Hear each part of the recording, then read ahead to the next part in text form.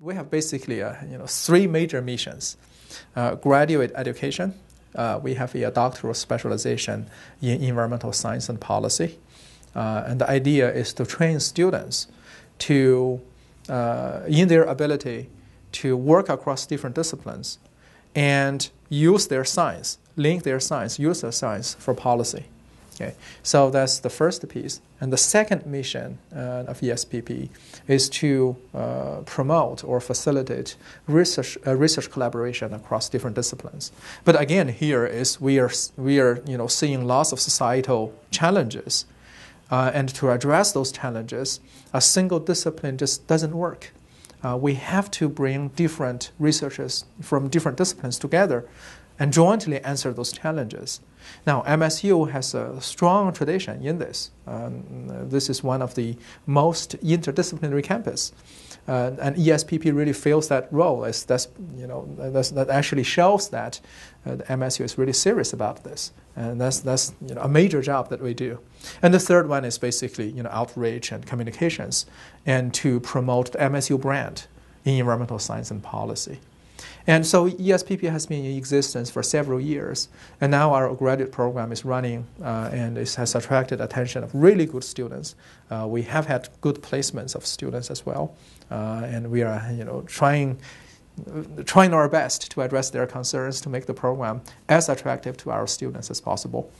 And research collaboration, we are in, uh, holding lots of activities uh, in different kinds of activities. Uh, we have workshops on specific themes of topics, uh, and we have you know, other activities to bring new faculty members together. Uh, when they come to MSU, we, uh, we have activities to bring them together and also to get them to know the existing research teams.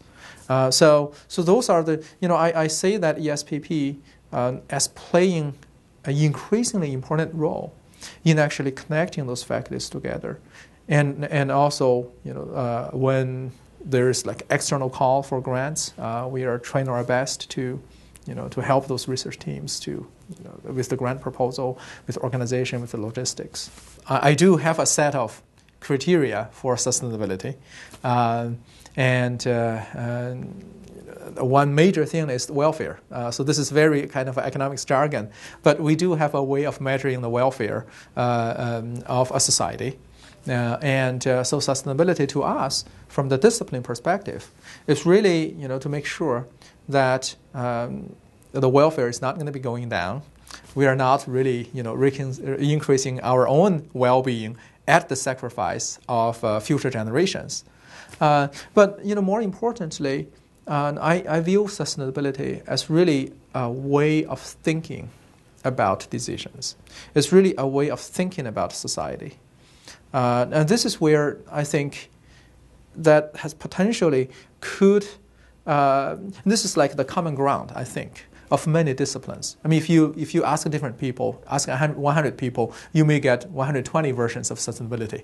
Uh, but a common theme, I think, is really the way to think about the trade offs think about cost benefits, think about the trade offs between now and the future, think about trade offs between economic development and environmental you know, ecosystems and environmental uh, uh, status.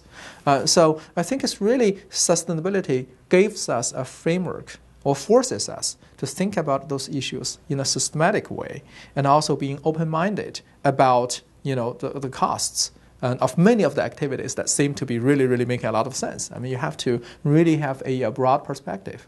And so to me, I think having that notion of sustainability is, is critical.